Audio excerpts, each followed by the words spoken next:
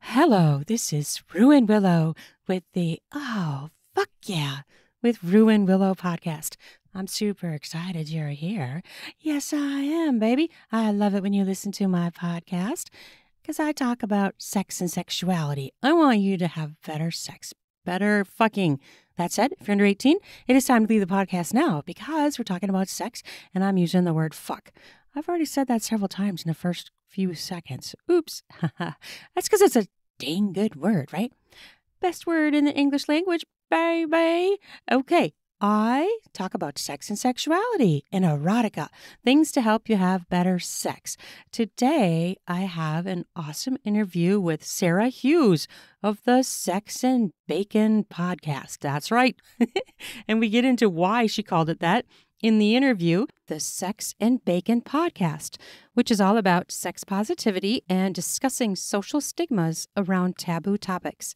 Sarah has seen and experienced firsthand the shame and judgment women feel working in various entertainment and sex industries and the effects it has on them personally. She shares personal stories with shame or fear of judgment and her journey to getting to where she is now with her own sexuality and the hurdles she faced along the way. She is a self confessed fuckaholic. There, I used a word again. And her and I had an amazing chat. She's on Instagram, Confessions of a Fuckaholic. We talked a lot about women and sexuality and her history in sexuality as a job. Mm-hmm.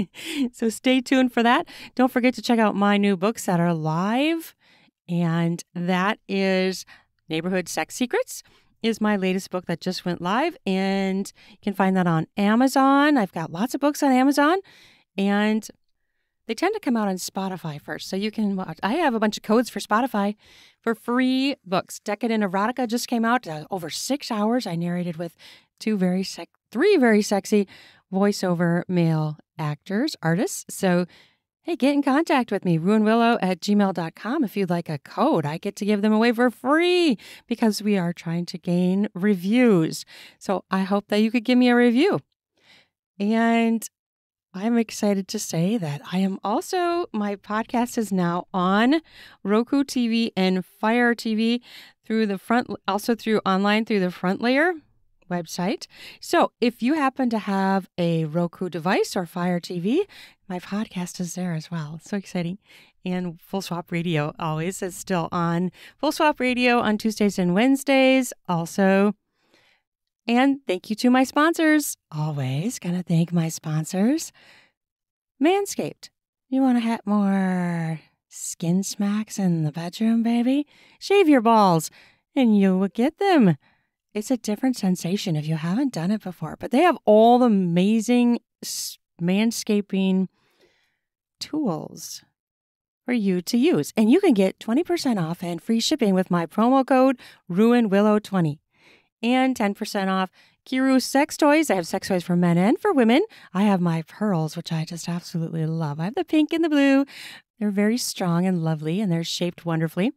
And they have a lot of male sex toys as well. They're up for some awards through, I think, AVN. So that's so exciting. Thank you for listening, and let's fucking go. Let's go, let's go. Yeah.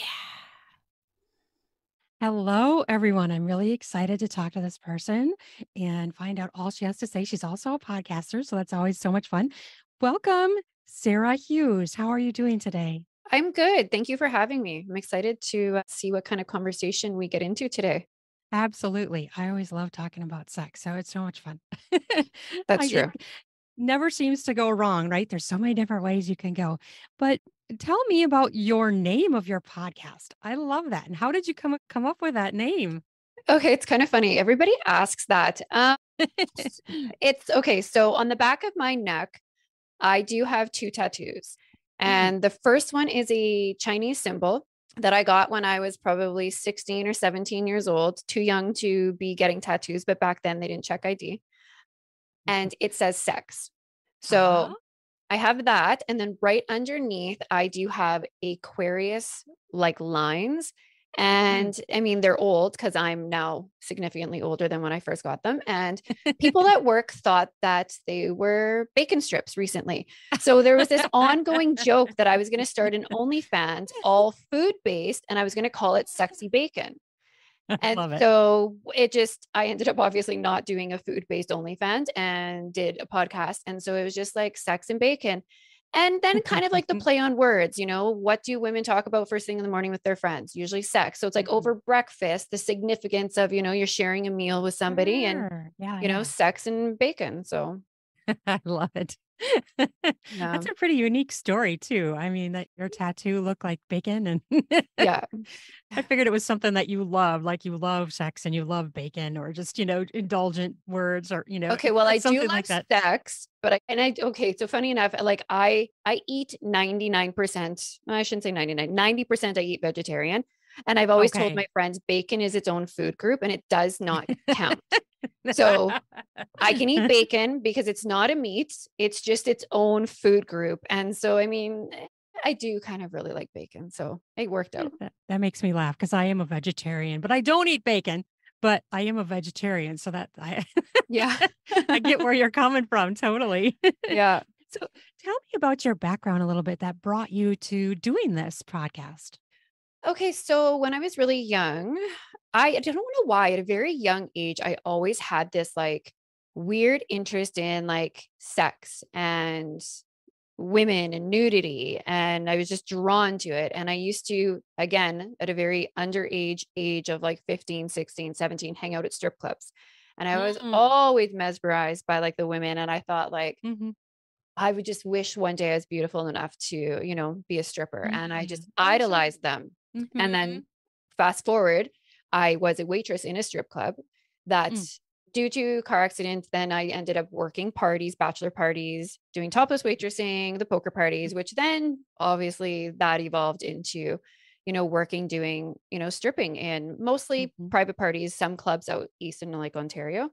And I did it for like over 10 years, but like I think it's just like I always just felt so like judged and the shame and the guilt and just like that heavy weight of the world that like you didn't kind of belong and you know you're the outcast and all this stuff and it's like you had to be embarrassed about and all this all the heavy stigmas that go along with like that industry. Mhm. And so then I got out of it because people said like you have to eventually grow up and you have to eventually do something like normal, which I completely regret and I wish I would have just embraced loving it.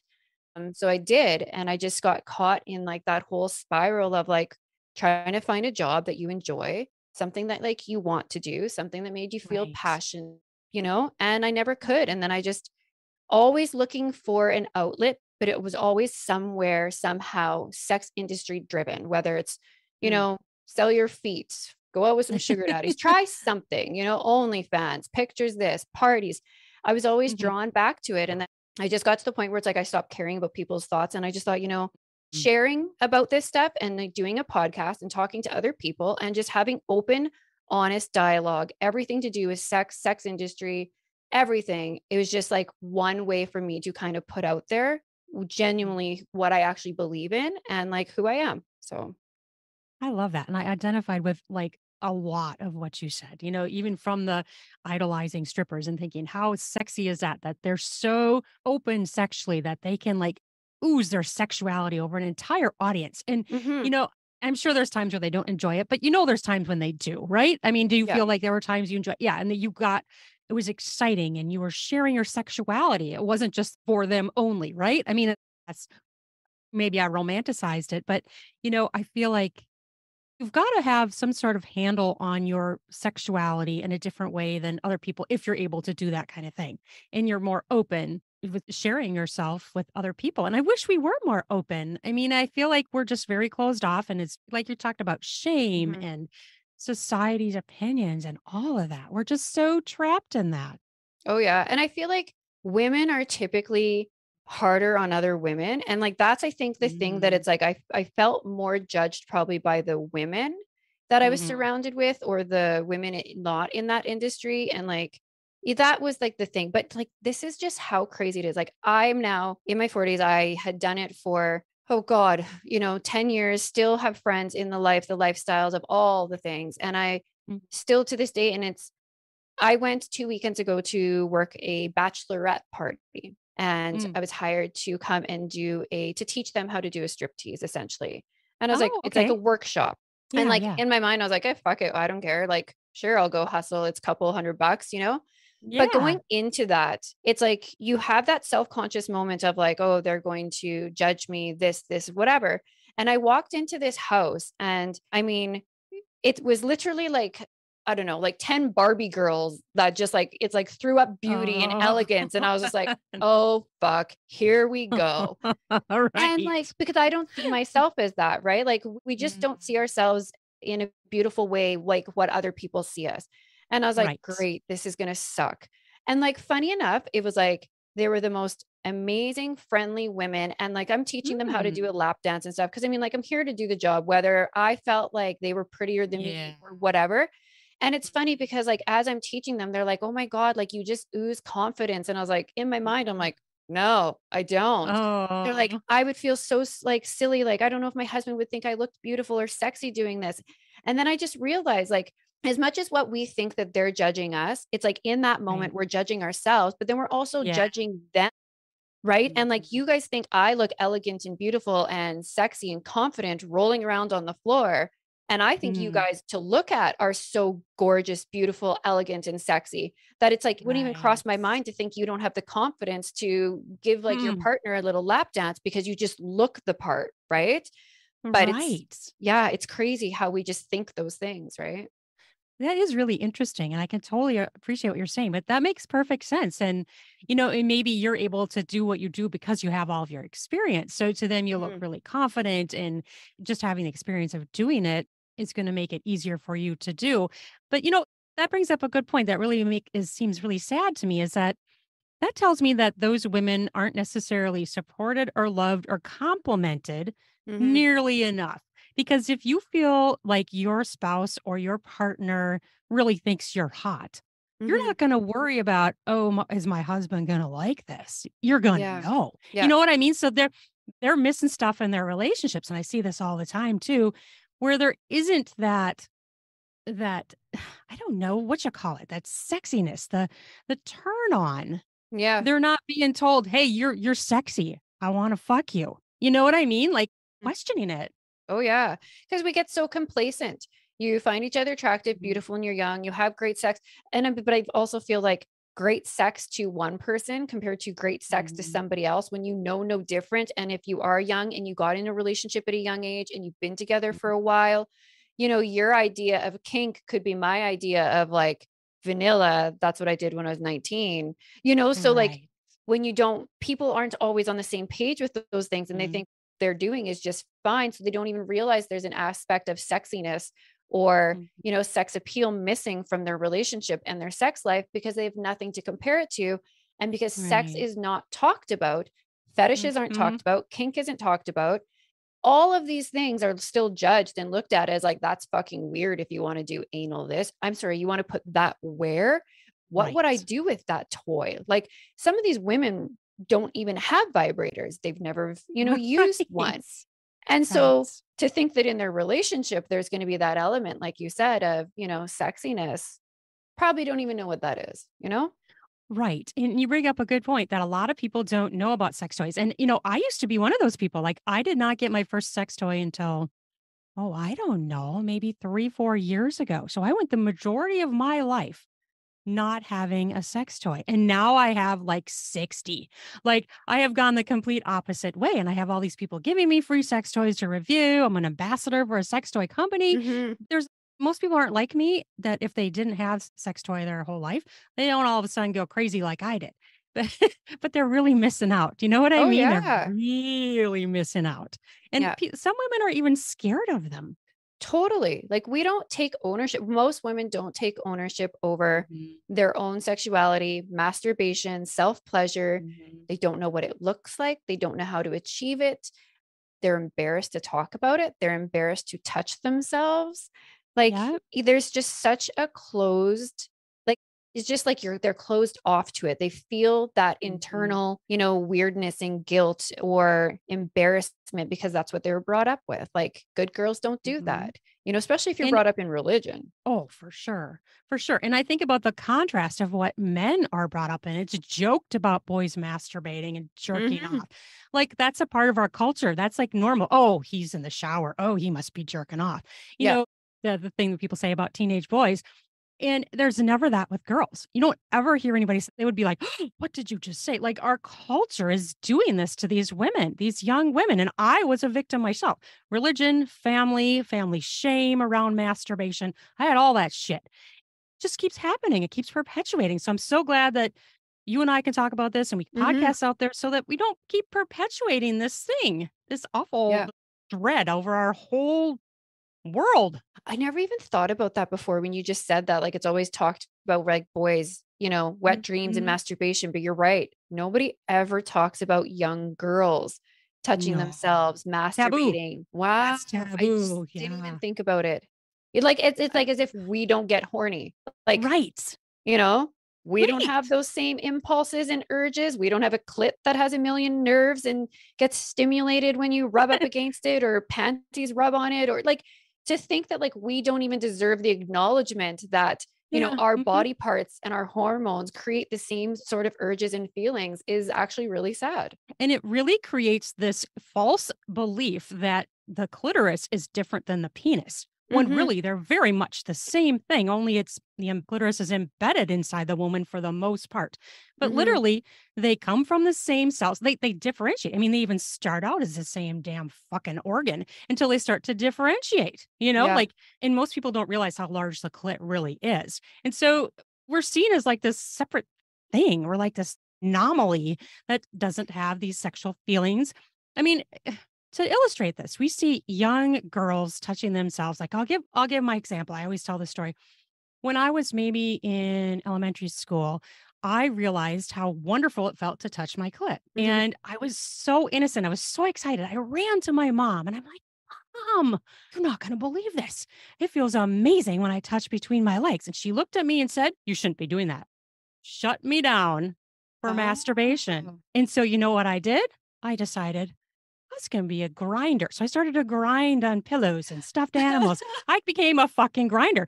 I was obeying. I wasn't touching it, but I was still getting off. Now, see, would you say that to a boy? No, you wouldn't. He would just be like, the door. They'd say, oh, just shut Yeah. the door. You don't have to, you know, they wouldn't look at you and say, "Ah."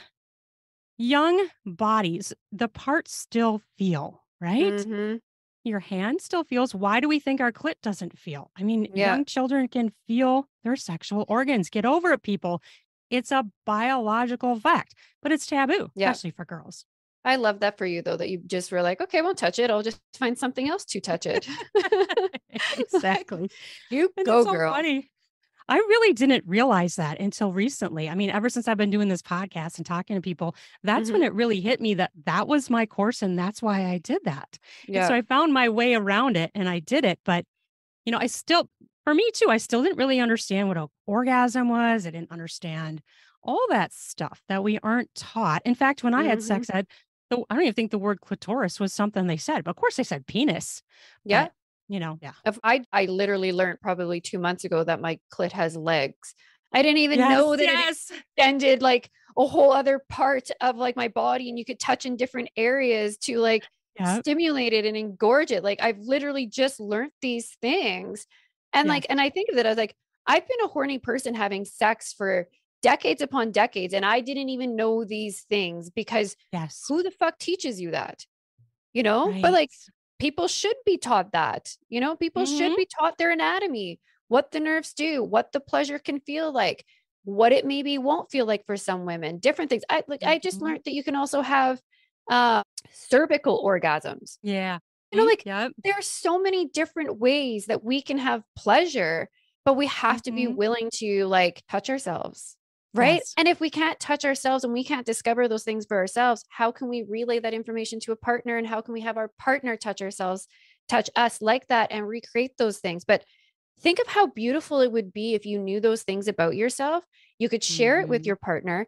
You're connecting in such an intimate way, knowing each other in such depth. Like, who doesn't want that sexual connection with somebody?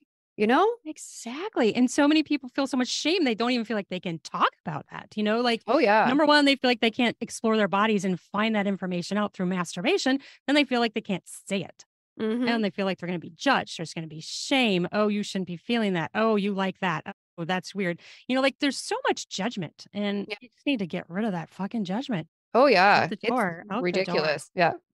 And like, I had a girlfriend, like, I don't know, 15 years ago. This is how taboo things were back then. Like, she was telling us this story that she had sex with this guy, and she's like, and he was, you know, fucking me from behind. She's like, mm-hmm. and I reached around and I fingered my own asshole. And she was, but like, she would have been drinking, but she was right. so humiliated with yes. herself that like she touched her own asshole during sex, but she's like, it felt right. so good, but like I can never see him again. I'm humiliated. And we, I remember the time we were like, oh, oh my God. And like, and I was thinking, I was like, oh, I could never.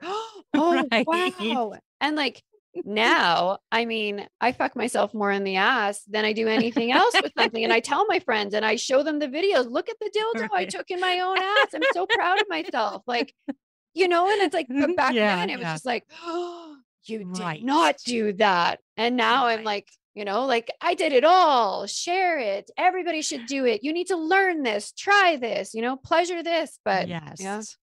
I think it's interesting too. Like even just even talking about that, there's some women who don't want that don't like doggy because they don't want someone looking at their anus. Like they don't even want it to be mm. looked at. You know what I mean? oh my God. My girlfriend is like that. It's funny. Literally last night we had this conversation and she's like, I just need to find somewhere that'll bleach my asshole.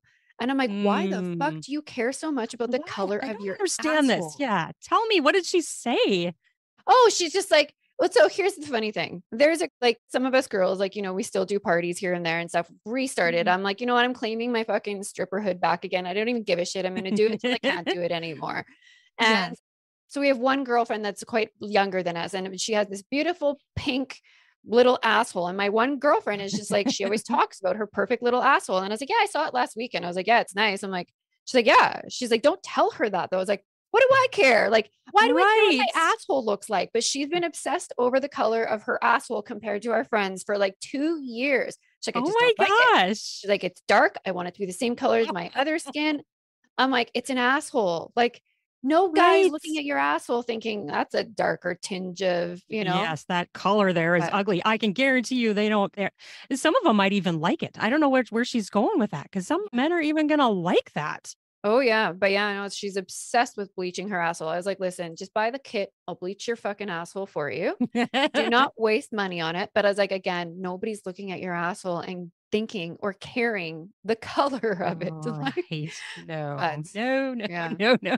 That's almost silly. I mean, I get it because we get we get self conscious, but Really totally. I mean, especially if you're comparing it, and I suppose like, oh, okay, yeah, there's a pinker one, but I mean, who cares? like, my asshole's pinker than your asshole. Like that's right. Like the guys are going eeny, meeny, miny, mo. Eh, take the pinker butthole. You know, like Oh but, my gosh. I need to do that poll on Twitter. I do lots of t- polls on Twitter and be like, what color asshole? And does it matter? yes.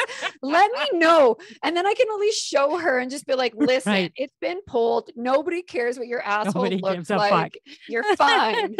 it's so funny. Oh my gosh. I'm dying. Oh, it's hilarious. I always wondered about that too. So, like, it's just up for the outside, right? There's no bleaching on the inside. It's outside skin only. Yeah. Because I've heard of these you know, kits. And I'm like, what does that really mean?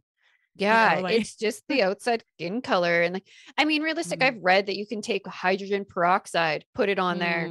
Like you can do that multiple times a week or something. But I mean, again, like it's my booty hole. Like, right. I'm not too and, concerned. And really, I mean, I think that your friend also needs to consider the fact that there are different colored pussies out there. And that's not a bad thing.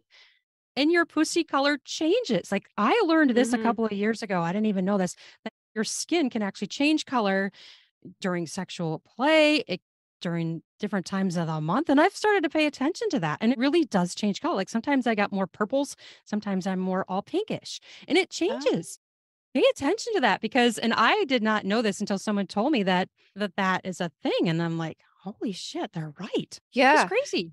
That is crazy. Well, you know what? Even like texture, like internal yeah. texture. I had a guy friend mm-hmm. tell me that like not that long ago. He's like, Yeah, man. He's like, sometimes you just slide in and like right away you're like, Oh, this isn't gonna be good. And I was like, What? Oh, and he's like, Yeah. He's like, some of them you slide in and it's like a perfect little cloud of cushiony softness that uh. grips your dick and it feels great. And then some of them you slide in and it's like kind of rough and a little more textured. And he's like, and it doesn't feel as good. He's like, it doesn't matter if it's tighter He's like, the Uh-huh. texture itself can be a little bit off or rough. And he's like, and then it kind of just isn't as great. I was like, interesting. And I wonder what brings that about. It could be her time of the month, or it could be her Mhm. level of arousal. You know what I mean? That could change Oh, because that's another thing. I've learned so much. I feel like I've like taken classes. I've done so talked to so many amazing people. I did not know this either. I learned that as we are aroused, our vagina actually lengthens and gets bigger so it can accept something big like a cock or a dildo. yeah. And I didn't know that. And so like if it can change just during that, think of all the different changes that are happening and might have to do with the level of arousal of the woman. I felt like I had another point in there and I lost it because I was imagining the, the vagina lengthening. It's funny as you were saying that too. I was like picturing, I'm like, yeah, that makes sense. Cause I mean, like, what girl doesn't do every now and then, like a little like finger test swab thing, you know, check your like Mhm, whatever your discharge shit. And I was saying this to my girlfriend. I was mhm, like, sometimes when I do that when I'm in the shower, I'm like, fuck, mhm. my vagina's tight. And then it's like, I'll be with a guy and I'm like, I felt way tighter this morning. And like, you know, Yeah. but like you said, when you get aroused, it opens up to take something. But like, I don't know. Mhm. Sometimes I wish it would just stay a little bit more, you know, firmer to take it. At least on like the start, you know, be like, yeah, yeah. I was that tight. But Right. And I think too, if you if you've ever tried to put in a dildo too early or had sex too early when you're not aroused, you can tell too because it might hurt a little bit more. It's not accepting it Mhm. because it isn't that pliable. Maybe it hasn't expanded yet. It's so so yeah. interesting. All these things we don't know. And when I've talked to some of these people that have been studying this for many years, they said that they're in textbooks and whatnot. The clit was actually completely removed from many of these textbooks, modern textbooks was actually not even talked about and not it was removed from anatomy text for a while. Isn't that crazy? It's a fucking body part. Like wow. that's just disturbing as a woman to know that it was actually purposely left out. Yeah. That's crazy. Like Isn't it? to Like think of like the really lengths that they would go to to literally remove that. Like they don't want us to learn about it, to know about it for those reasons, you know, because Yeah. women are meant to have sex for having children, not for pleasure, right? Control. It's pure Yeah. control of women is what it hmm is. Yeah, Yep. absolutely. That's crazy. So it's so good that we have these kind of things that where we're talking about it so people can know. But you know, you mentioned earlier that you didn't know what the clit looked like. And I didn't either until I I interviewed a woman. She was one of the people that helped figure out what the aroused, engorged internal clit looked like. And she helped image it. And that was the first time I was like maybe two years ago that I saw what a clit really looks like. And it looks kind of like an octopus. You're right. It's got these arms and Yeah. lobes and it's it's really I would have never in a million years guessed it looked like that. It's more like an alien or something. It's not, you know, a dick is just a straight rod, you know, it's just simple. Right? We're way more complex than that. Yeah, which I love. Like I feel like it's almost like we're gifted in the sense that we can have so many different types of orgasms and so many different pleasure Mhm. points and nerve things. It's just we have to take the time to want to discover it and to like do it. I interviewed a tantra coach a little while back and then I've been working with Mm. her. And it's Oh, crazy because nice. like even like the self-pleasure practice that like through tantra that she Mm. gives me for homework, I'm like it's it's time. Like you have to dedicate 25 minutes to yourself so many Mm. times a week to do this practice. And sometimes in my head, and I like get resistance towards it. Like I don't want Yeah. to. I just want the quick thing. I just want like 60 Right. seconds which is so insane because we're so programmed to, you know, quick, yeah. quick, quick, quick, quick.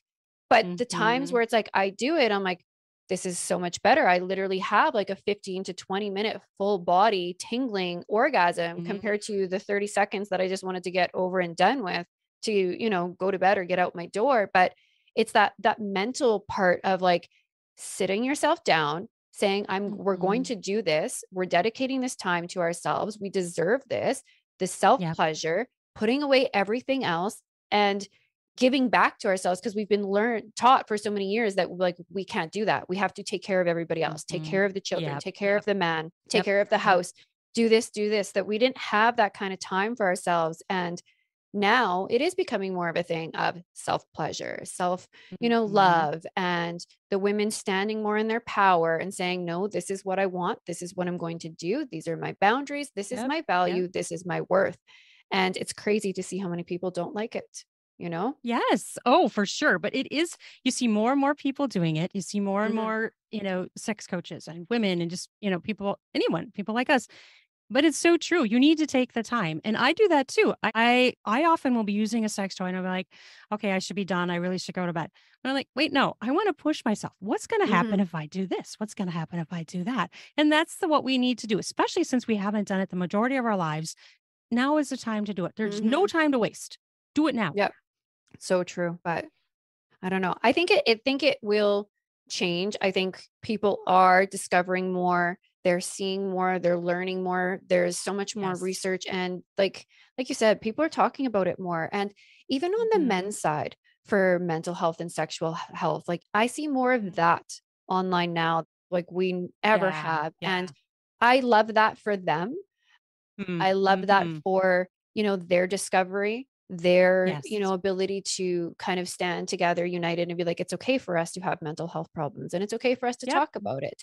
And Oh, yeah. recognizing that sometimes those mental health problems that you haven't been able to talk about for so long are actually what's creating sexual health problems. And Yeah. that there's an actual tie to that. And before it's just medicated. Yep. Here's a Viagra, Yep. here's a Cialis, Mhm. but it's like, Yep. but no, what is the real reason as to why you're having sexual health issues? What is your mental Right. health?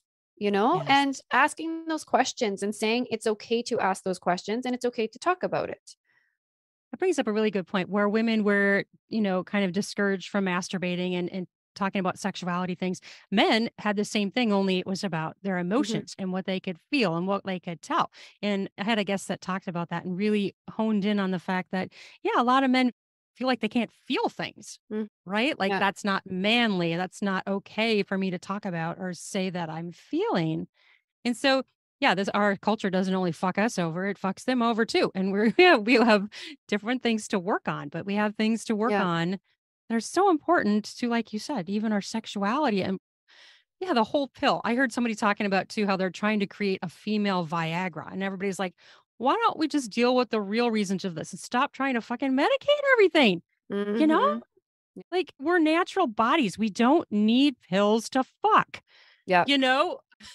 Okay, I understand some people may need it for certain reasons, but you know, most people they need to fix something to make their Oh, sex yeah. better, not Yeah. take a pill. Yeah. Yeah. Connecting back into yourself, into your your physical, your spiritual, your your mental, figuring all of that kind of grounding, getting right with that. And I think it's like your sexuality essentially writes itself once you've kind of uncovered and like, you know, gone through the layers of those things. But it's hard. People do a lot of people don't want to do the work. And then sometimes Yeah. people, you know, and and I get it. It's scary. It can be messy. Mhm. And like you, when you start to uncover it all, I mean, you usually uncover a lot of shit. Oh But yeah. on the flip side of it, what you gain long term is such freedom, right? It's Mhm. like you get such control over yourself, your body, and like you actually just like you can just be like, "Ugh, okay, I know it. I Mhm. got it. I've learned all their tools. I've processed this. I recognize things when they come up, but it's not affecting you in the same way. And honestly, you can use your sexual health to help clear and heal the mental health part of it. And that's what I've really had to like learn and Mm. discover is like through healing my sexual health, Yes. I'm healing so many other things and I can use my sexuality to heal. And like that's kind of the cool part of it is like with all of this breath work and womb work and sexual work, Mhm. I'm having orgasms, enjoying my pleasure, but I'm also healing so many other things. And like that's what's beautiful, I think, about being a woman, you know? Oh, absolutely. One of the things that struck me when you said that is I interviewed a couple of dominatrixes and dominate how do you say that? Dominatrices? I don't know, whatever. Two different dominatrix women. And they talked about how that whole mental health piece is Mhm. a part of what they do. And it's sexual, it's sexuality. And it's so interesting how it really seems like in our culture that it's separated. Like sex is not really tied with our mental health in the Mhm. general talkings of things in the culture, the society, but it really is. It's hugely intertwined. And Mhm. something that even like I was kind of like taken aback when they were talking about it because I'm like, is this a thing? Wait, this really makes a lot of sense. Like I was ingrained to thinking that sex was like separate Yeah. from mental health. You know what I mean? Yeah. Wow. Yeah. It's pretty Yeah. We're taught there's a disconnect, but it's so connected, you know, which I mean, really, maybe that's part of the reason why they don't want us to know it, right? Right. If we keep them not knowing this information and keep it away from them, Mhm. then all of these other problems, we can medicate them and, you know, Mhm. keep them, you know, I don't know, not awakened, not learning, not discovering. And we can tell them what they need to learn and, you know, what that means and keep them in the little box and program them, right? Exactly. Yeah. Exactly. It's like something I read recently that was disturbing. And then that was a part of it, like control of sexuality, control of reproduction Mhm. is how you control large groups of people, their finances, you know, all of that kind of stuff. So it's it's on purpose. People think that this stuff is not malignant, but it's definitely not benign. it's Mm, on No, purpose. no. But God it's forbid people think for themselves in that respect, not to be, you know, not to say it, but I said it. So, Right. So in doing your your work as a stripper and whatnot, did you feel like there was that sexual or a psychology and mental health component, or is that something that you've come to realize more as time has gone on?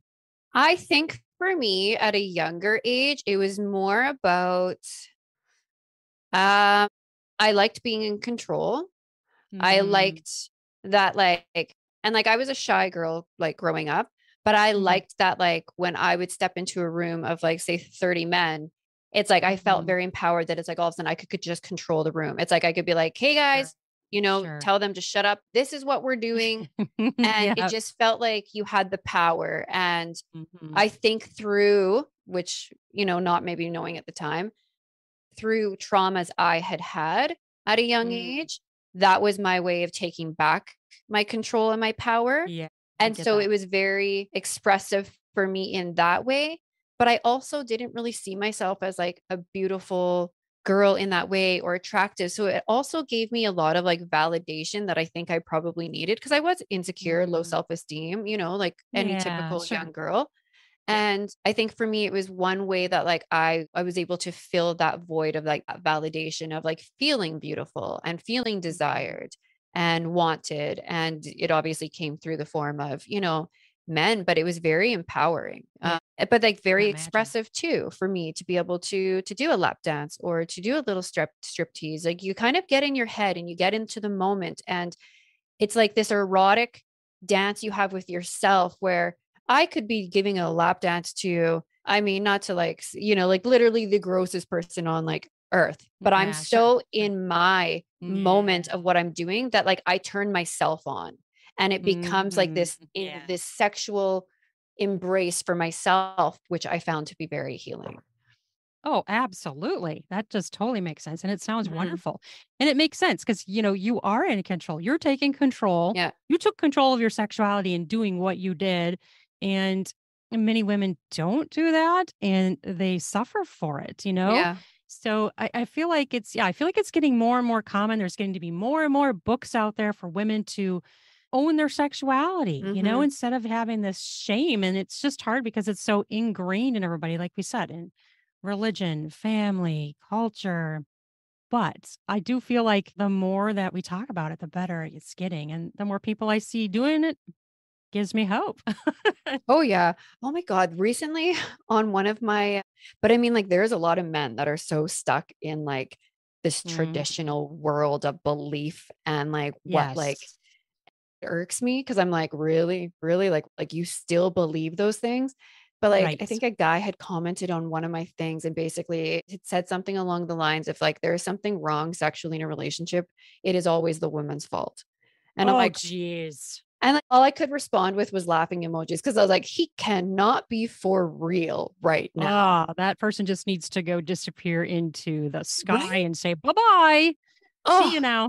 yeah. My I was I was like, not even gonna get into this with you, but like it, Mhm. but genuinely he probably believes that is like that's how he was raised and like women are at fault for everything and if something's not working the woman needs to look at what she's doing wrong in the bedroom and it's not the man's job for this it's the woman's job for this and it's just like and I like I wanted to respond and be like yeah you sound like you'd be fun to fuck but I I was like you're "Ah, single.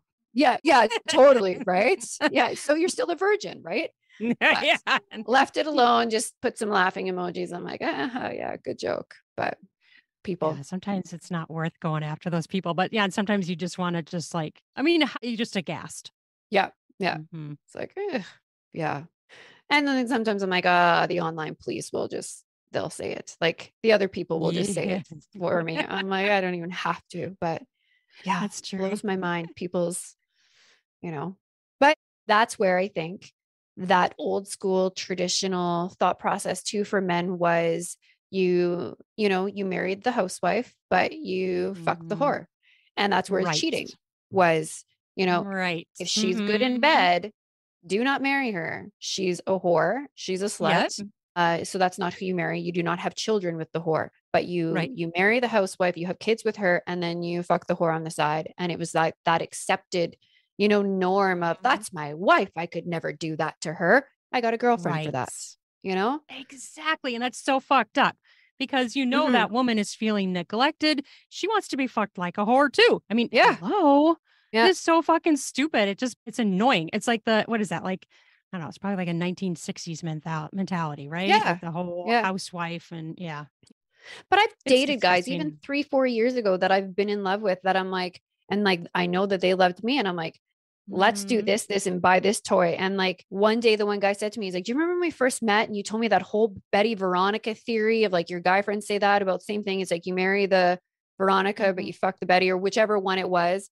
Yeah. And he's like, I never really got it. He's like, but like now I do. He's like, and I don't want to do those things with you. I don't think I could do those things with you. And I was just like, Oh, you've got to be fucking kidding me. Like, that is so seriously? fucking stupid. Oh right? Oh my gosh. like so we're in love you love me which means then you can't be freaky with me but you'll be mm. freaky with like the escorts that like you know you use which because I, I i knew and i didn't care but like it was like Yeah. so why couldn't we just do it all why couldn't we be the weirdos together you know but And you might as well just be siblings. You know what I mean? Your siblings, your cousins, whatever. I don't know what you call it, but more like siblings. Yeah, uh, That is so disturbing. It's like, do they Mhm. realize how stupid and asinine and backwards that is? right like if i trust a guy the dirtier i am with him like Right. the more that I love you, the more weird shit I want you to do with me.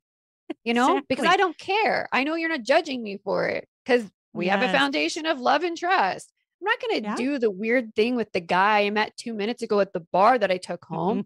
then I know he's going to look at me like, what the fuck? And I'm out of here. You know, but like yeah, the person I have a bond with, and I'm gonna be like, hey, I saw this online once. I heard it can do this. Let's try it. You know, yeah, like, yeah. but yeah, I don't know. Well, Guys need to catch up to red that. flag. Yes. That's a huge red flag. Get out of those relationships. Women who are in any of anybody says anything remotely like that to you, red flag. Get Mhm. out. It's not going to get better. It's not going to go away. I mean, not saying that people can't change, but it's going to take effort and they may not have the capacity or the interest to do that work. Oh yeah. Yeah. Yeah. I mean, yeah. And like guys, I think get a little bit weirded out quicker than like girls over things too. Mhm. Like, Yeah, yeah. you know, even with like anal play. I've had Mhm. guys who have say like, eh, I mean, if there was like shit on my dick, yeah, I'd probably never look at you the same or whatever. Oh, jeez. And like I'm like, okay, but like you know, you're the one who wanted to do that. And then like Uh-huh. you know and they're like but like i really want you to do this to like my bud and i'm like okay they're like but i would never let actually let you because like i would be too worried that like i would get shit on you i'm like right but i wouldn't judge Mhm. you if you did and i wouldn't care but like you're Right. literally going to judge me if i do when you're the one who wants to do it so it's like no women are far more accepting of all the weird and all the whatever guys are the ones who are a little bit just like eh, i can't quite go down that road That's not even a logical line of reasoning. Like that's just messed up. Like it doesn't Yeah. even make any sense, honestly. Yeah, I yeah, I hear what you're saying on that. I totally agree. Women are more accepting of such things. This is so bizarre. right yeah What the hell is up with that? I don't know. Like if a guy asked me like to peg him, I'd be like, cool, I'll peg you. You know, sure, Like, right. no problem. I'm not going to judge you for it, but like you're going to judge me for that one thing like I, uh, I like I want to do. Like, no. But Wow. yeah, So I have to ask you, do you have a favorite sex toy? I always like to talk about sex toys too. I do. So I had I was gifted last year a one of those fuck machines. Um, Oh, okay. Yes. Tell me more. yeah. So, and it's crazy because it came with like, my God, probably 10 or 15 different like dildo shape sizes Oh, and whatever. wow. But Mhm. uh, I've shared it before. But my favorite one is like there is literally one toy that comes that you can bend. It's like a bendable dildo attachment. And you can Mm. Okay. bend it into a 90 degree angle. And Oh, wow. so I enjoy that one because I mean, if most women know your G spot, well, as soon as you kind of go in, it's right up there, you know, near the Yep, front. So yep. I can bend this little this little Hmm. attachment into that 90 degree angle and I can give myself like really good, you know, G spot squirting orgasm. So it's kind of like my favorite toy. Nice. That's pretty cool. Yeah, the whole squirting thing too. Like some people still don't believe it's a thing, and some people think it's pee. Yeah. You know, like isn't that crazy that in this day and age we don't understand female f- sexual fluids? Mm, yeah. It's I know. I know. People are so and it's like I mean you can Google it and then they're still like, nah, yeah, I think it's that. I'm like, okay, well, let me piss all over you then. I know. See if you notice the difference. yeah, yeah. Let's do a taste test, smell test, you know, color test. Sure. You let me know which one you prefer. Actually pretty funny. right? So yeah. I should do that actually. Just be like, so Yeah. we're gonna do research. Like, I'll grab the That's really towels. funny. Yeah, exactly. What's pretty your funny. favorite toy? Oh my gosh. Okay, so I'm really a clit junkie. I'm all about my clit. That's so I'm the toys I'm obsessed with that can get me off really fast are the Zumio clitoral stimulators. Okay. They're made it up from a Canadian company and there's four different types and I've tried 3 of them. And and the clit suckers, the ones that are like those pulse ones. Yeah. Yeah. So I'm, you know, I can come just from my clit stimulation alone. Just Mhm. flat out. That's all I need. It's usually bigger if I can do G spot and clit, but I can come just from that. And I love the really strong Zumio toys. I just they're they're weird. They look like a pen, right? Okay. So it's like this thick pen and it tapers to a little point. So it's very, very pinpointed pleasure. And the thing that Hmm. I just blew my mind, I talked about this with a guest recently on my podcast. What it taught me, since it's so fine and pinpointed, it taught me there are different parts of my clit that have stronger and lesser sensations across it. And on one side is stronger than the other. And it just blew my mind. And so we were talking about this, and she said, That's a thing. She said, That's called clit mapping. You can map your clit to see where it's stronger in different spots and weaker in others. And since it's so little tiny like that, like this little pinpoint, you can test different spots easily. Blew my mind. Oh, I feel like I need one of these. You do. You do. And so I figured out my top upper right quadrant is stronger. And then the left, it's upper also, but it feels good all around it. Like if you do also like a circle Yeah. around it with this toy, you can feel, I can feel the sensations varying if I go around it slowly. Like it's strong, strong, strong, less, less, strong, less. You know, like it varies as I go around and it really shows you where on your clit is most stimulating. Interesting. Yeah. Okay. It was a. Z U M I O is what it You'll is. have I've to tried. send me like a link or a picture. I Yeah, oh, definitely oh, need to try that. I heard, and it's funny because I read and I had done an interview with somebody a long time ago talking about orgasmic meditation. So oming, Mm, which there was a yeah, huge yeah. documentary. And they said Yes. that the left side of a woman's clit and typically like your vulva area is typically more sensitive. And I can't remember the reasoning. But I remember like saying that. So in like this oming practice that people do, it's like typically they discovered that like women on the left side, that's like that Mm. rubbing point where you have like these more heightened, but it's like you you have to find it. There's somewhere on the left side, there's this different type of nerve that whatever. And I'm, I've never been able to find it, but I've never really pinpointed or tried to that extent. So Right. I'm curious now. Well, a Zumio might help you. And I do find like my left is strong, but for me, the right side is stronger. But I would have never known it if I had not tried this toy. I mean, this Yeah. is, I would have never known. Because if you think about it, like if you're using those clit suckers, it's a Yeah. circle and it's hitting every point of your clit. So you can't say, oh, it feels stronger over here, over there, because it's this whole pressure all around Yeah. it. But with that toy, you can touch, you know, very fine points. Oh, interesting. I'm not gonna lie, all this sex talk, I'm like, I might go masturbate after this. I know, right? exactly. exactly. That's So, funny. what is your what are your burning new things that you've learned? I mean, I know we've talked about some of them, but I know it's isn't it fun to have guests and you find these new things? Like I feel like I have a guest on, they tell me something, I'm like, oh dang, that's really cool. You know what? I think like a lot for me is so I've talked to a few like that are big into like the psychology of like the Mm, brain and things like that. And it mhm, really was, I think through everything, it's like learning my boundaries, but then mm, also giving myself permission to have a boundary or be okay with not liking something or needing something to be different. Like something as stupid as like, like, you know, for girls, how sometimes it's like, okay, you have somebody come over and, you know, you go into a room and it's maybe really brightly lit. And like, I've had instances where it's mm. like, you know, you're making out, they carry you to the bedroom and then like the light is on and I'm so distracted by the light being Uh, on.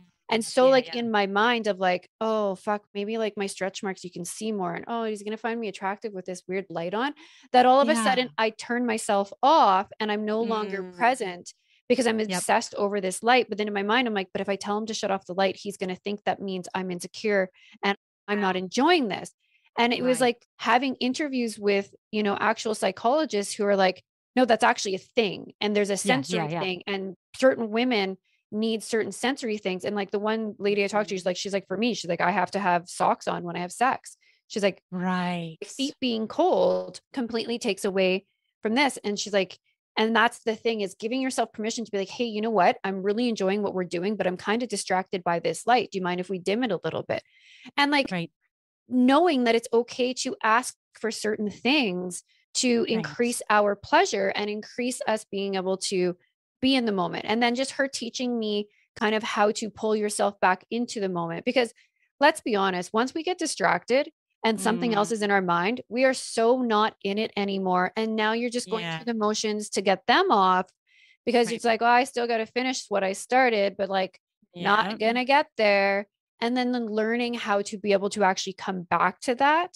So those are like the big things for me, I think, and like not thinking, overthinking the little things of like, hey, you know what? I really like it when it smells really good in here, or when there's like a certain music on, it turns me on. mhm. And if you're a guy who enjoys giving pleasure and you like seeing your partner turned on, then you're gonna be like, yeah, let's do it. Fuck, I'm all for it. Over being like, what do you mean? That's weird. I don't want a candle Right. burning, you know, and like those things. So it's been cool for that kind of stuff. Yeah, I mean, first of all, you need a partner that's not going to say that kind of stuff to you and not jump to those Mhm. conclusions, be making judgments. But that really falls in line with what I've heard a lot about those. What do they call the sexual blueprints? Like if you have a sen- Mhm. sensual, like it sounds like maybe you have the sensual because you need, you like the feel of things, you like the Yeah. way things look. And there's like, I think there's like five different blueprints or something like that. Somebody wrote this amazing book and I'm drawing a blank on who it is, but they, they talk about that. And, it, and that is a thing. And you need to have the best sex, you need to know your which category you fall into. Totally. Yeah. yeah, oh, for sure. How about you? What's like the, your favorite thing that you've learned? Oh my gosh, that is like so hard to pick. But I really liked learning that I wasn't, I really liked learning that I wasn't the only one that was finding out this clit mapping stuff. Cause I'm like, this is, is I weird? Is my clit like numb on certain areas? Like, you know, have I Mm. had damage? You know, and she's like, no, no, this is a thing. This is a thing. And it's, it's true and it's real. And most people don't know about it because, you know, our fingers are as big as they are. Your finger Yeah. touches a clit, you're almost touching the full fucking thing, you know, like there's different size clits too. That was something that kind of blew my mind. I, I talked with some other people who do a sexuality podcast and they were talking about the different sizes of clits, just like there's different sizes of dicks, right? And one person brought up a really interesting point that that some women, they this is a theory that some women may like anal more because their clit might extend back there more than another women. And I thought, if that's true, that's really mind blowing. Yeah. You know what I mean? Like, so to think that your clit could actually be stimulated from anal sex because your clit is just stretching back there further. And I'm like, someone needs to study this because I'm really curious if this is true, you know? Yeah. That's mind blowing to think about, right? Because it does look kind of like an octopus. You got these lobes and these legs, like, uh, you know, Yeah. like it's a wishbone looking. I know, isn't that that blew me away when she said that? And I think she, I don't know if she was talking about if it was something she had read or if it was something she was just postulating. And I'm like, oh, Yeah. that's fascinating uh, thought process. And it See, makes sense. Yeah, and I have a guy friend who said he dated this one girl that like she loved anal over anything else and always asked for that. And like, and I and I'd said to him because like I was like, well, not all women actually know and have G spot orgasms. I said, so if she doesn't have orgasms through penetration and Mhm. the only way she can really have an orgasm is through anal, I was like, that would be why. Like, you know, like if you can have an Mhm. orgasm through anal sex, which I know a lot of women do, They but you can't Yeah. have one through penetration, well, then, yeah, why would you waste your time on just, you know, vaginal penetration if it's not really doing anything for you? Right. Right. know? Like, see, I can't come from just G spot penetration. I need my clit involved. I mean, it's very, very rare for me to come.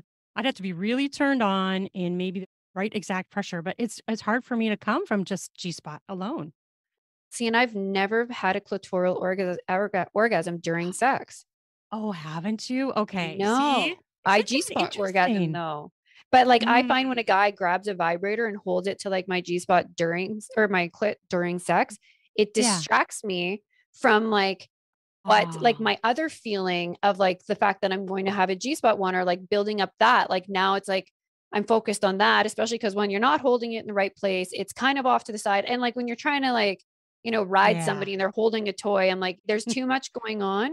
And like Uh-huh. I Uh-huh. cannot breathe into what's happening. And like I've never ever from like a guy using a toy ever. So Isn't that wild? Because I'm like the flip of that. Now that you say that, I think about the fact that I've had times where I'm stimulating the G spot and the clit where I start to get distracted because of the way my G spot's being stimulated. And I'd rather that go away and it just be the clit.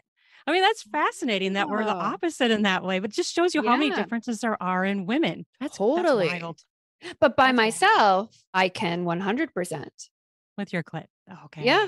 But like something about like, yeah, the other way around with the guy being there, I don't, I don't know. I've just never been able to. But Oh, that's so interesting. yeah. Fascinating.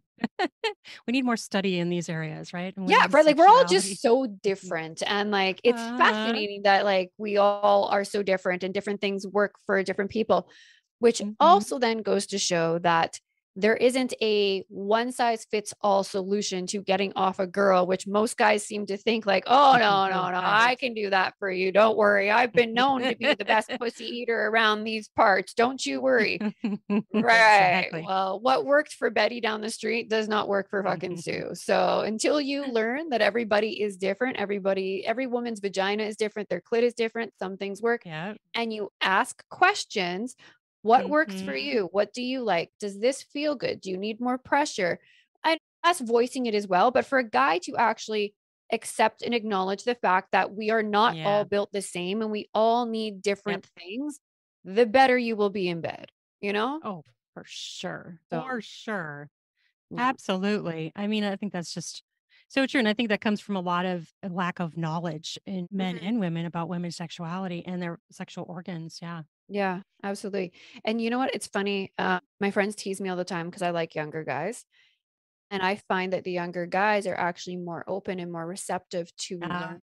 And Yeah. Yeah. they have Mhm. that whole whatever MILF older woman teach me attitude. Whereas older Yeah. guys are like, you know, more hesitant and stuck in their Mhm. beliefs and their thoughts that like they already know what they're doing. And if you tell them they're doing Yeah. something wrong, they're offended, you Right. know? Or if you suggest something that you like, they're actually, it's a hit to their ego rather than, so then it becomes about them.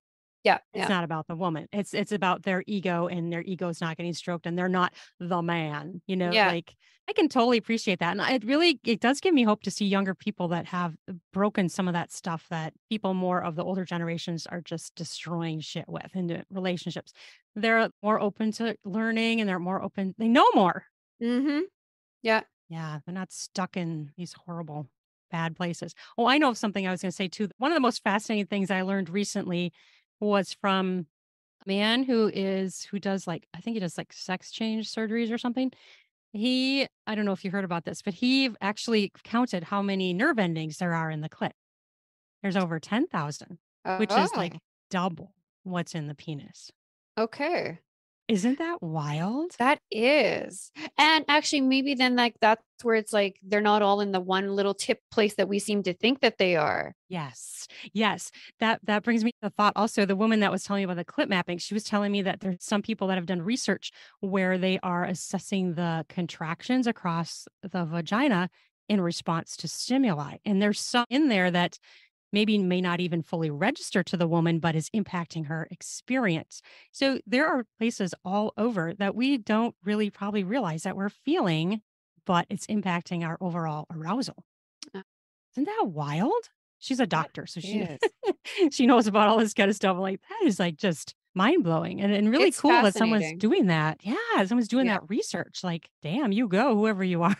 That's Mhm. awesome. Yeah, absolutely. Oh, I love learning about it and I love talking about it. Oh, I do too. It's Yeah. amazing.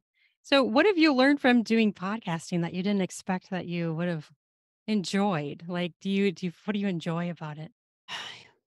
I think for me, it's really just like meeting other people that are like minded.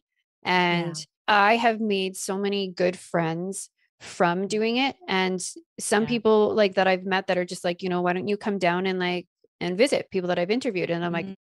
okay. And Mm. I've literally booked flights and gone and stayed with some of these people that are now Aw, like good friends of mine. And it's Mhm. just one of those things where it's like, I find as soon as you start talking about sex with somebody, Mm. there's like a different type of a bond of connection where it's like, I know you more than I would have known you if I had, you know, conversation about Play-Doh and baking for like Yeah, 2 right. years. And Mhm. i- there's Mhm. just becomes like this trust and this connection where you feel like you don't have to hide who you are. You're you just Yeah. feel seen, you feel heard, and like you can literally just be your authentic self. And people accept that. And then it's like you just build this network of people that I feel like I could reach out to any of the men or women that I've interviewed in the last year at any given time and be like, I'm coming to your city. Let's get, yes, come stay with me. Yes, let's go do this. And it's just like a, a, friendship that is developed through having similar beliefs and an openness to to share and to talk. And that's what I love. I totally know what you're saying. And it's it's like a different mindset of people that are willing to Mhm. talk about sex so that that in itself already is just very different compared to yeah, like sitting around talking about Play-Doh, like you said, or Yeah.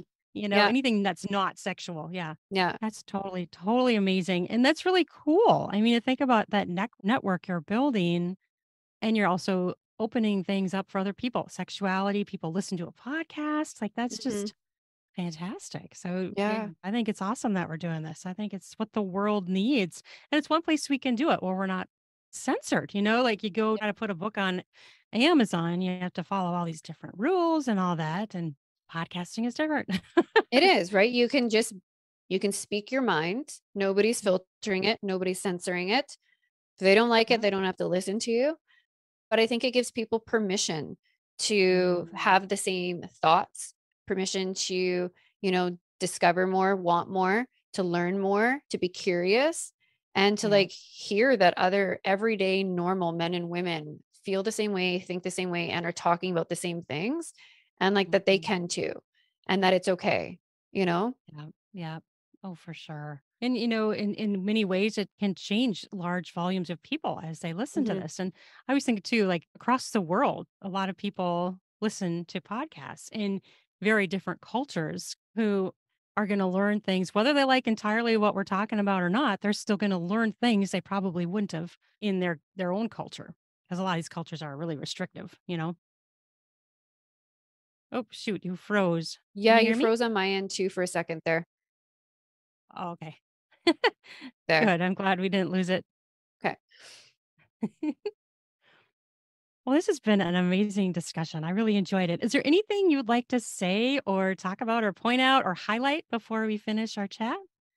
I think just for like anybody who is listening, just to absolutely accept themselves for where they are at in their sexual journey of whether it's healing, discovery, curiosity, but to just go into it with a level of curiosity to learn more about yourself, to discover more, and to be open to having conversations with whoever your partner is or future partners about your needs and your wants, and that they are just as important as theirs men or women, whatever it is, just to remember that your needs and your pleasure is so important and you deserve it. Absolutely. I completely 100% agree. Super important and well said. Mhm. Yeah. But thank you for having me on. I really, Oh, really did love this conversation. It was really fun. And so people can find Sex and Bacon on all the podcast apps, the the usual You betcha. Yeah. Apple, Spotify. We have a YouTube channel as well. So you can actually watch some of the videos because we do have toys on there too sometimes. And so we're very animated with what we what we share. Yeah. And And you then have just on my co-host, right? I Or do she sometimes.